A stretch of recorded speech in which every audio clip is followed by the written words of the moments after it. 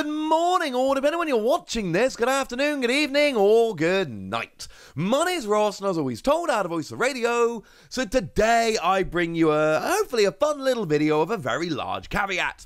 The fun little video is that we're going to be talking about the most expensive cards coming around from Lost Origin.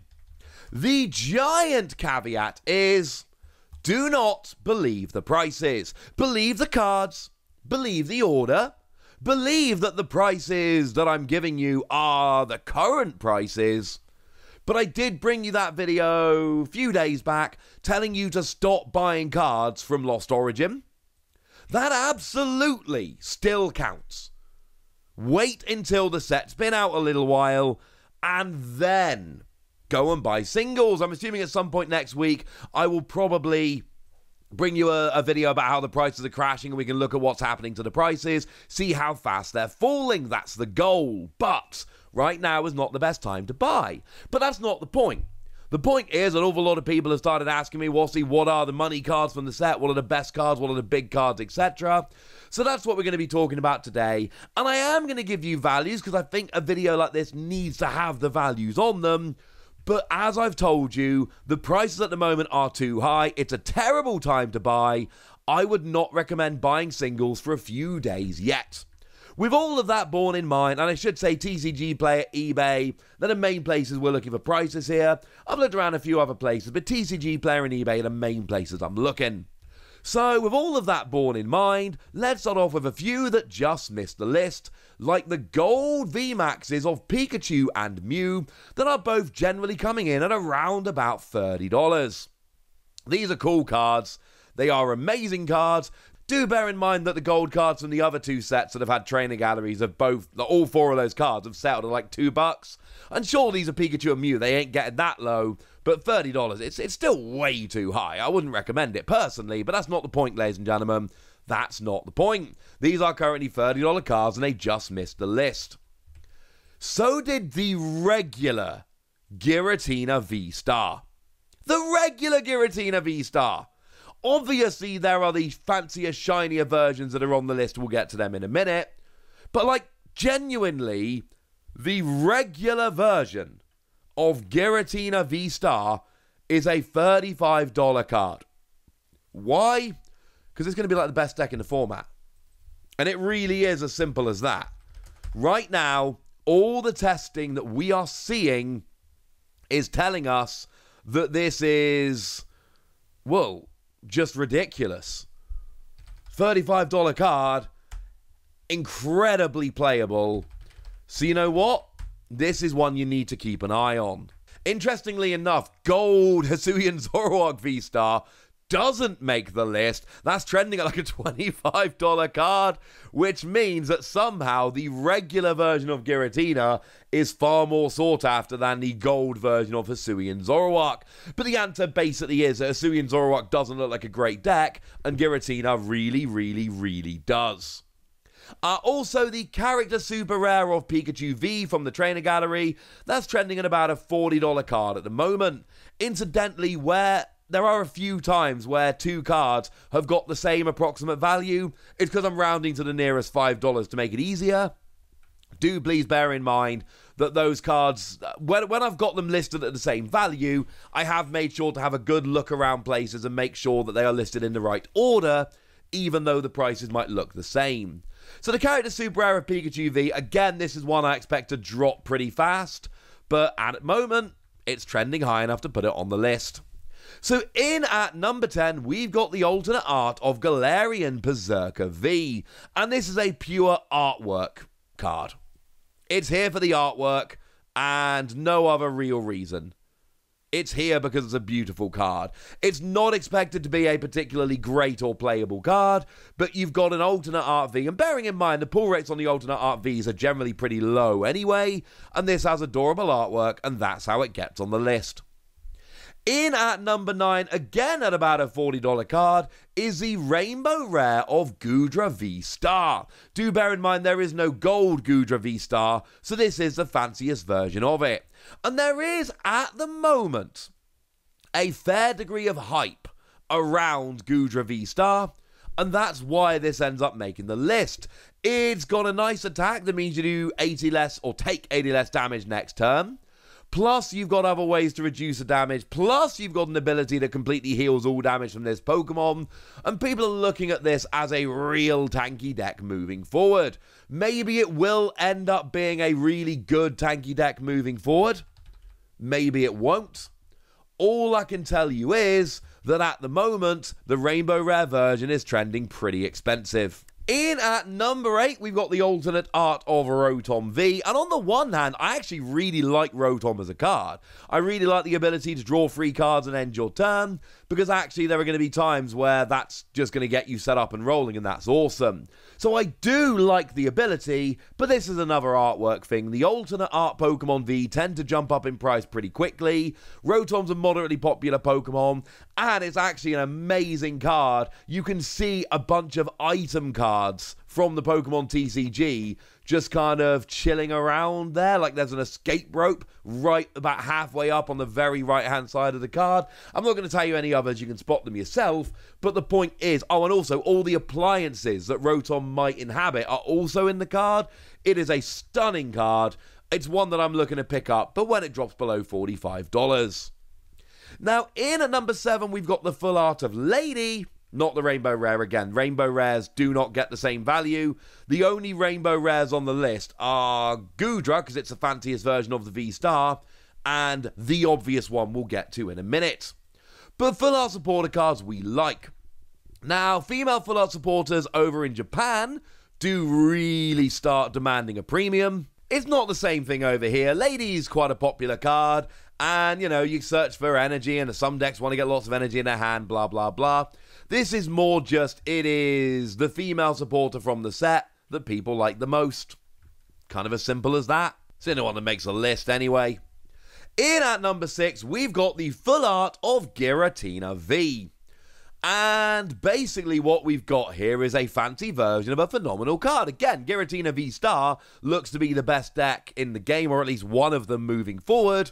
Here you've got the full art of the Pokemon V. It's not the best version, there's another version that comes higher up on the list, but this is still a fancy version of a phenomenal card, and that's why it's attracting the value. Speaking of which, in at number 5, and this is the first real jump up to $75, we've got the Rainbow Rare of Giratina V Star. So we went from 40 to 55, from 10 to 6. From 6 to 5, we've jumped $20 when we only went $15 so far in the list. This is where we start really jumping up in value. And basically, I've told you that Giratina V-Star is a phenomenal deck. Uh, free energy, 280 damage. That's KO's V-Star. If you got 10 or more cards in the Lost Zone, instant KO with a V-Star power for 2 energy. It's really the support that makes this so good. Go go check out the video I did on Giratina V-Star where I go more into the support. Point is, Giratina V-Star is stunning and people are going to play a lot of it. But this is a Rainbow Rare version. It's cool. But it's not quite as good as the gold version, which comes in at number 4, and these are actually very close. I've listed them both at $75. I've listed them at 4 and 5. I think the gold is trending slightly higher, but we've seen this in previous sets. The gold and the rainbow rare V stars, even though the gold are rarer, there's really not much in it price wise. This is a pretty standard thing we've seen for a couple of sets now. So basically, all you need to know is that Giratina is amazing and you're going to pay about $75 right now for either the Rainbow Rare or the Gold. Do expect the price to fall, but if Giratina is as good as we think, maybe it's not going to fall as much as we'd like. Now, in at number three is the alternate art of Aerodactyl, and this is one of the best artworks in the entire set. Outside of my artists like Okacheke and Hyogonosuke that I absolutely adore, this is the best artwork in the set. It's Aerodactyl flying around with loads of other fossil Pokemon chilling. It is stunning artwork, and unfortunately, I'm not the only one that noticed. And what that means is everybody wants this card, and the value is going through the roof. It's currently trending at $80. I'm confused with this card because most of the alternate arts don't get that high. Even Palkia, which is a crazy playable card, is, is sitting at like a $50 card. It's not that expensive. But let's not forget that Machamp went absolutely nuts. Now, that was pretty much due to a buyout, and it, at some point, you got to imagine it's probably going to even out. But it is important to note. It is important to note. So that's that. In at number two, we've got the Trainer Gallery card Pikachu V Max, the character super rare. Interestingly enough, the only one of the Trainer Gallery that actually makes it onto the list, although as I told you, both the Pikachu V character super rare and both the Pikachu and Mew V Max gold cards did come close. This is currently trending as a $90 card. And I don't think the pull rates are low enough in the Trainer Gallery for this to hold. Now, it is an amazing card with Pikachu and Red and all of that, and it's never going to be a crazy cheap card. But one of the things we've seen is that the character super rares in English, because of the pull rates of the trainer gallery, are just not, they don't go up to that level. You know, we've seen that the Umbreon V Max, the alternate art from Evolving Skies, is like a $400 card. But the character super rare from Brilliant Stars, the trainer gallery, is a $20 card. And I think putting those two cards side by side with the value kind of makes my point. There's no way this stays a $90 card. It's probably not going to drop that low.